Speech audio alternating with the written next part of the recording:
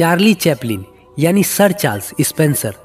Chaplin दुनिया को हंसाने की कला से वाकिफ कराने वाले एक अच्छे अभिनेता के साथ साथ बेहतरीन फ़िल्म निर्माता और संगीतकार भी थे। इनका जन्म 16 अप्रैल अठारह सौ नवासी में वालवर्थ, लंदन में हुआ था।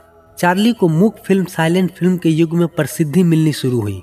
सबको हंसाने वाले चार्ली का जीवन खुद दुख से भरा हुआ था, लेकिन उन्होंने जीवन को एक अच्छे अवसर की तरह इस्तेमाल किया और व्यर्थ नहीं जाने दिया।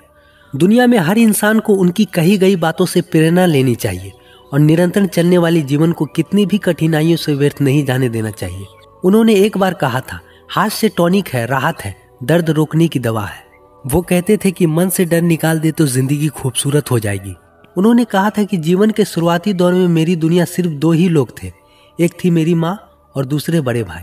हमारा समय बुरा चल रहा था, क्योंकि हम गिरजाघरों की कृपा पर पल रहे थे।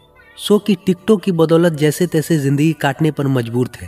सिडनी स्कूल के दौरान समय निकालकर मैं अखबार बेचा करता था और बेशक इससे हमारी जरूरतें पूरी नहीं होती थी। जीवन में जिस सबसे बुरी चीज़ की कल्पना मैं कर सकता हूँ, वो ऐसो आराम की लत है। माँ हाना ने सिखाया है कि पैसे नहीं होने पर कैसे मनोरंजन किया जा सकता है। माँ खिड़की पर बैठ जाती और सड़कों पर गुजरने वाले लोगों को देखती और इसके आधार पर उनके चरित्र, रंग, रूप और आचरण का अनुमान लगाती। उन पर कहानियाँ सुनाती कभी कभी उनकी नकल करके भी दिखाती। मैंने अपनी माँ की इस कुशलता को आत्मसात कर लिया था।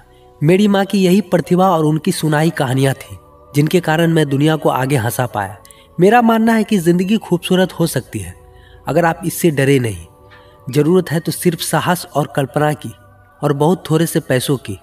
उन्होंने कहा था कि अगर आप नीचे देखेंगे तो कभी भी इंद्रधनुष नहीं देख पाएँगे। इस मक्कार दुनिया में कुछ भी स्थायी नहीं है।